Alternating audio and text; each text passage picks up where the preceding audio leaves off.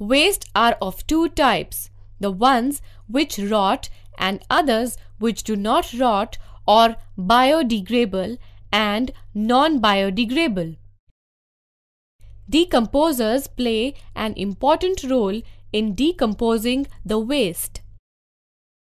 Converting plants and animals' waste, including waste from kitchen, into manure is called composting.